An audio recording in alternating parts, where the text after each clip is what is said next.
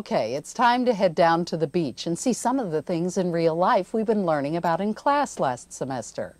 Finally, that was a long drive down from Fairbanks. After all that classwork we did in Alaska seashores last semester, I'm glad I finally get to see an ocean beach.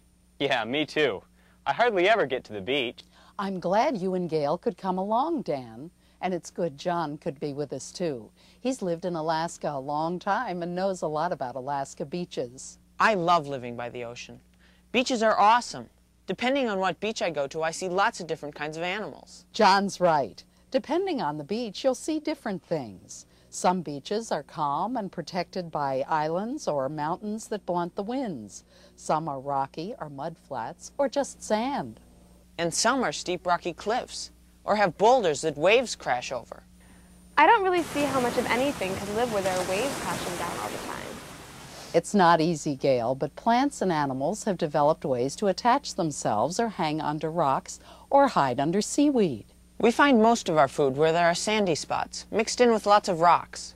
Yes, the beaches with the most variety of life, which is called biodiversity, have a combination of rocks, sand, and boulders. That's the kind of beach we're going to explore. Let's go.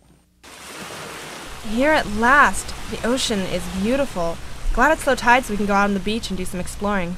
I know we learned about tides in class, but I didn't quite get it. How do tides work anyway? Well, Dan, just think of it as the moon and the sun playing tug of war with all the waters in the oceans on Earth. The pull of the gravity of the moon and of the sun on the Earth makes the oceans bulge out on opposite sides of the planet. That means the water is deeper when it's being pulled on by the gravity of the moon and sun, mostly the moon because it's so close to Earth. As the Earth spins, the two bulges of water move around the Earth. When the bulge of water runs into the land, you've got a high tide. And when the ocean is not being pulled on by the moon or sun, the water is shallower and you've got a low tide. In Alaska, low and high tides happen about twice a day. Oh, I think I get it now. Good.